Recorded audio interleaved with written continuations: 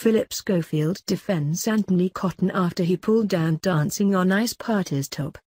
Phillip Schofield has leapt to the defense of Dancing on Ice contestant Antony Cotton following a backlash after last night's show. The Coronation Street actor pulled down the top of his skating partner, Brandee Malto, at the end of their performance. Many watching the show were outraged by the move and condemned the 42-year-old's actions. However, Phillip, 55, explained what had really happened on this morning. One thing which was massive, it's funny how people misunderstand. Antony got a bit of stick for looking down Brandee's top. Well if you watch there is a note that dropped out of her top and at the end of the routine he was supposed to take it out of the top, looked for it. It's not there. Being the showman that he is, he carried on, the host divulged.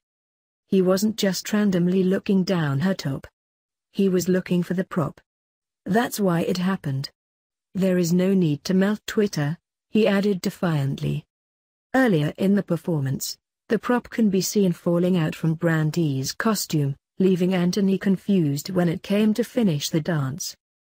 Despite the drama, Antony received 15.5 points in total from the judges and made it through to the next round. It was revealed that former Great British Bake Off winner Candice Brown received the fewest votes and would be in a skate-off next Sunday. Sunday.